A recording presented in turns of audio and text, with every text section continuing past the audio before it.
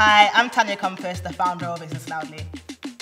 Exist Loudly is a creative youth organisation that supports black LGBTQ plus young people from London through creative intervention and spaces of joy. To me, representation means seeing somebody and being like, ah, you look like me, or like, I want to look like you. Very, very rarely see particularly black, masculine presenting LGBTQ plus women, for example, in the media. And I feel like had I have seen that when I was younger, I would have come to understand and accept my identity far before the age of 23.